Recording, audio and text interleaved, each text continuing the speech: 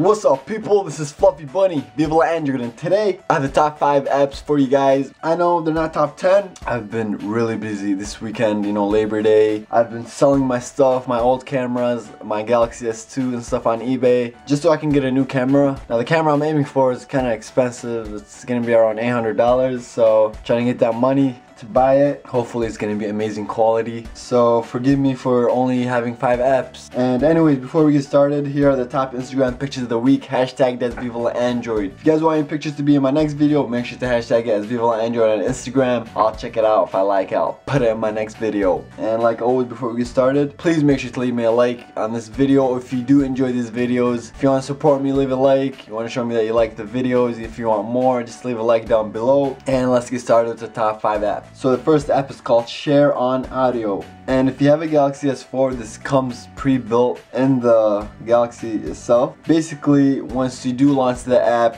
you press this icon right here to show the available devices on the same now it has to be on the same Wi-Fi network it shows you the available devices that have this app and they're running it too so you click all the devices that you want and then you press OK. So once you press OK, it gives you all your audio files on your phone. So once you click a song, it's gonna start playing on this phone and on every other phone that you connected it with using this option right here. And you can even change the volume, you can change the song, anything, and then you can even go back, do something, and it's playing on every single device. You guys can be doing anything. So it's pretty cool. It's kind of having like surround sound if you guys are all sitting in the same room. Also, one other cool feature, if you download the program on your computer, you can do the same thing with your computer. So you could be using your computer and every time you press play on a song, it plays it on your computer. The next app is called Maxthon Browser. If you guys have heard of the uh, web browser One Browser, that's been my favorite browser for a while now. And this actually beat it for me. It's really simple, it's really clean, it's quick. Now, if you guys use one browser, you'd notice that it lagged. Like you'd be using it and you scroll down, it doesn't scroll down, but it scrolls on after you scroll down. So it's kind of weird. Now, if I click YouTube right here, it's gonna take me to YouTube. I got my tabs up here. Open up as much tabs as I want. I can exit them. And now if I press options right here and go to full screen, it gives me a full screen web browser. And then you get one small dot right here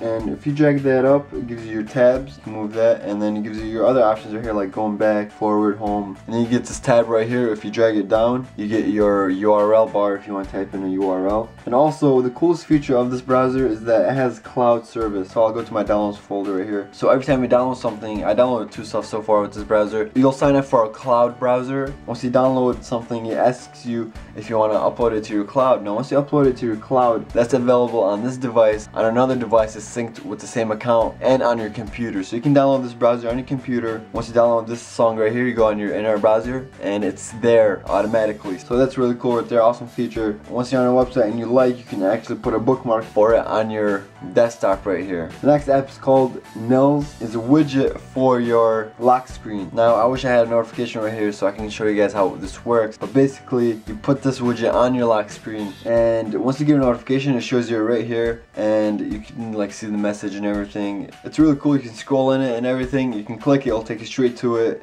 You can also put this widget on your home screen, but it's made for your lock screen. If you guys want to put widgets on your lock screen, you have to have 4.2 Jelly Bean. If you don't have that, you can get a app called Widget Locker, which allows you to put widgets on your lock screen. A really awesome app. I've been using this for a week now, and it's really, really useful. It takes you quickly to your notifications. The next app is called Speech Jammer, and I've showed a similar app to this. Now you have to use headphones for this. Once you talk, it delays your talking. You start mumbling. It's, it kind of plays with your head, so it's fun to play with. The reason I'm reviewing this again, but this is a different app. This one allows you to control how much of a delay you want. So I can make it a short delay where like I can hear it, but just a little bit after I talk, I can hear my voice. If I bump it up to all the way up to here, now I can talk and then maybe after a few seconds, like two seconds, I can hear myself talking. That really, really messes with your head and it makes you start mumbling and all that stuff. So you have to try this out with your headphones. Make sure to check this app out. The next app is called Rex Beta. Now this app is still in its beta stage, but it's really, really good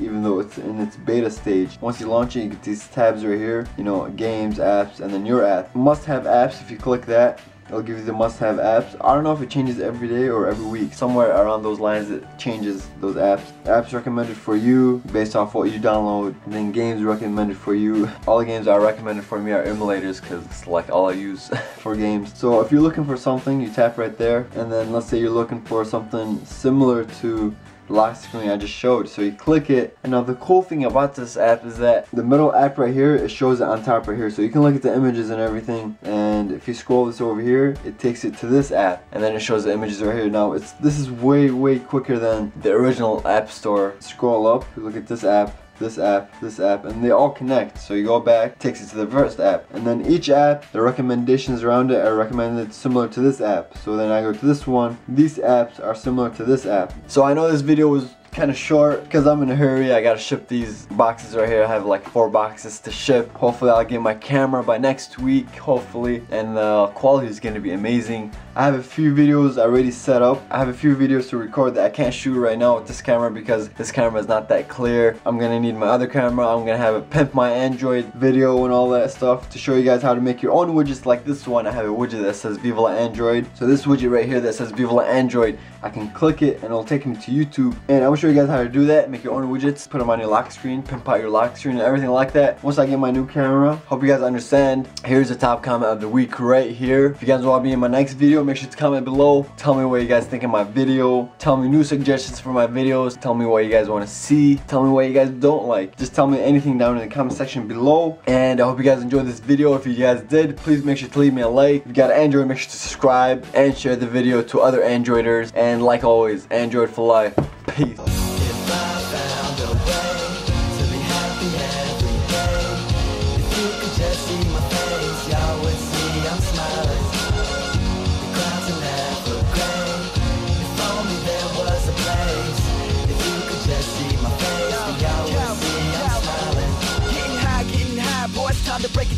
A mic, kill the stage, yeah, second nature now. Mama said I make a prayer, I told her I made a vow. Just to wait around, in the year I'll put her in a house.